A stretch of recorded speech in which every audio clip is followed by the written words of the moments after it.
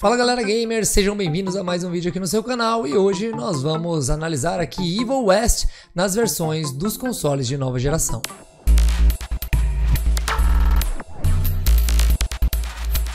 Bem-vindos mais uma vez, meus amigos gamers, aqui ao meu canal Roberto in the Game. Como eu sempre peço, se esse vídeo for produtivo, for bom para você, não deixe, não se esqueça de clicar aí no like, contribuir aí com o seu comentário e o seu compartilhamento também, tá certo? Apoie o nosso trabalho dessa maneira e, se possível for, seja membro do canal por apenas R$ 4,99. Você vai estar apoiando mais ainda o nosso trabalho. Os links para o nosso grupo do WhatsApp de vendas e também as ofertas aí de monitor gamer dos consoles de nova geração estão na descrição desse vídeo. E claro, se você ainda não conhece o meu trabalho, se inscreva aqui no meu canal, acompanhe aí mais de perto e aperte também o sininho de notificação para poder ficar inteirado de tudo aqui no Roberto in the Game. Bom, hoje nós vamos falar a respeito do mais novo game lançado hoje, dia 22 do 11 de 2022, Evil West, né? Acho que é hoje a data do lançamento dele mesmo, me perdoem se eu estiver errado. Evil West, que já foi demonstrado aí, né, as especificações, como que ele ia rodar nos consoles e não agradou muita gente não. É óbvio que é mais um exemplo de jogo mal otimizado para nova geração. Por isso que mais de 50 games foram adiados de 2022 para 2023, porque uma grande parte dos desenvolvedores não estão querendo arriscar fazer isso que alguns estão fazendo. Ah, tá errado eles lançarem agora? Não, de certa forma não, contanto que eles trabalhem para poder otimizar isso daí depois. Por exemplo, é, o Cyberpunk 2077, que já ganhou versões aí muito boas para a nova geração depois daquela primeira que saiu no início do ano, próprio Dying Light 2, ou também o jogo Gotham Knights, que saiu aí recentemente só com 30 FPS e a desenvolvedora já disse que já está trabalhando num patch para 60. Então, não tem problema, porém não vai vender muito né, esse jogo no início, né, no, no, seu lançamento, que é quando a pegada chega, que dá aquele boom, pá, lançou o jogo e aí não vende muito, né? Diferente, por exemplo, de outros jogos que já chega com modo 60, já chega bem otimizadinho e as a maioria dos desenvolvedores preferiram fazer isso, deixar para o ano que vem, é, desenvolvedores da Sony, da Microsoft e outros independentes, enfim. E hoje nós vamos analisar aqui o Evil West e vocês vão ver que você que quer jogar agora, né, antes de sair uma atualização, que eu acredito que vai sair um patch mais cedo ou mais tarde, até para 60 FPS para o Series S. É, mas se você quer comprar agora esse jogo, fica vendo o que, que você vai encarar, tá? Eu separei aqui algumas imagens, tá? Do canal El Analista de Bits. Mais uma vez, sempre vou lá, é, dou uma olhada nas imagens. Eu separei algumas imagens aqui só para mostrar para vocês a, a diferença que você vai ver da versão do Series S, que é um console aí quatro vezes inferior né, em poder computacional que o Series X, por exemplo, ou que o PlayStation 5 praticamente. O que a diferença que você vai ter? Você que tem um parrudão, PlayStation 5 ou o Series X, cara, tu vai jogar em qualidade de Series S praticamente. Para o Series S, a única coisa que está incomodando aqui, que eu vejo assim pelos padrões do jogo e tal, e, e para o que o Series S oferece, que é o custo-benefício, é só a questão de 60 FPS que está embaçando. Se eles fizerem um patch aí com 60 FPS, numa qualidade legalzinha, já está ótimo. No Series S você está perdendo por não ter os 60 FPS. Mas, cara, olha só essas imagens. Aqui o Series S, né, como está sendo mostrado aí para vocês, à sua esquerda, o Series X do lado no modo qualidade. O modo que vem a 30 FPS também, para rodar em 4K, parece que é em 4K que ele roda. E olha o PlayStation 5. Você percebe a leve diferença de nitidez, obviamente, na questão da resolução da imagem em si, mas a resolução da textura, como eu já expliquei para vocês aqui em outros vídeos, resolução de textura é uma coisa, resolução de tela é outra. A resolução da textura nesse jogo tá péssima, cara em todos os consoles, mais ainda no Series X e PlayStation 5. Tá péssima, péssima, péssima mesmo. Sabe? Então vamos passar aqui porque eu fiz meio que uma montagem em vídeo.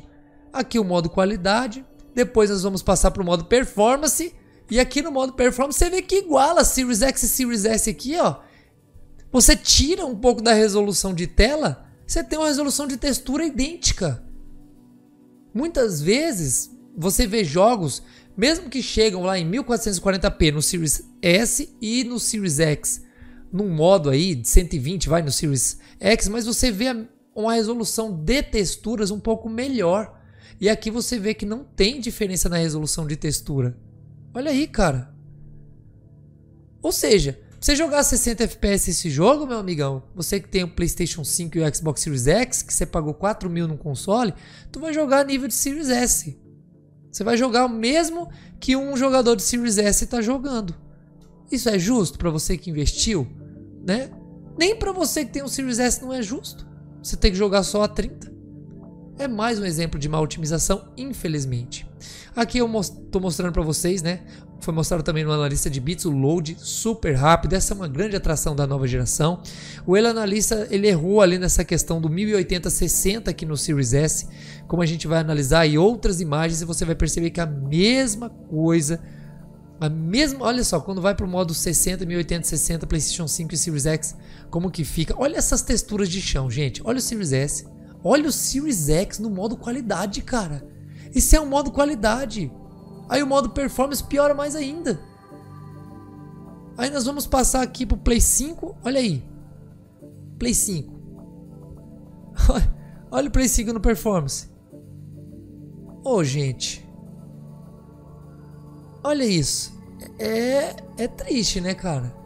É triste você ver um jogo que é legal. É um jogo aparentemente muito bom. Parece ter uma gameplay bem atrativa, gráficos bonitos. Cara, o jogo é bonito. O jogo não é ruim. Não é um triple A tal, tal, tal da vida. Mas, cara, o jogo é bonito. Olha só essas imagens. Compare vocês mesmos aí. Vejam só vocês mesmos. Olha as sombras.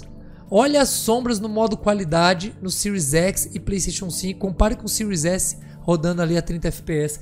Aí quando você vai para o modo performance no Series X e Play 5, ele fica tudo igual ao Series S. Idêntico ao Series S, não tem diferença nenhuma de imagem. Olha essa imagem com, com a fumaça também.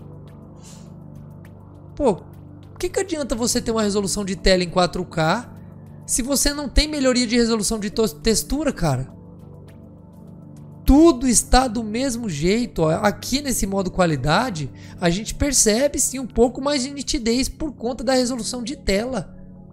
Mas nós queremos ver o que mais no Series X e PlayStation 5? O que a gente vê na maioria dos jogos aí, né? Que é um pouco mais de resolução de textura, até gráficos, sombreamentos filtro anti-aliasing melhorado. Aqui não tem nada, bicho. Não tem nada.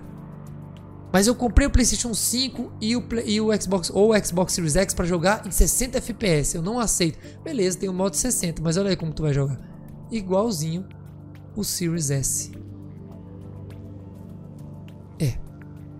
Com relação à estabilidade de FPS, o jogo se mostra bem, é, vamos dizer assim, é um jogo bem feito, né? Com relação à estabilidade de FPS. Né? Então, assim, eles deixaram ali o FPS é, baixo, com resoluções baixas, mas a gente vê claramente que eles fizeram a lição de casa na estabilidade. Né? Ficou realmente muito boa a estabilidade do jogo, mas é um jogo que eu não recomendo vocês comprarem agora, não tá? Não recomendo.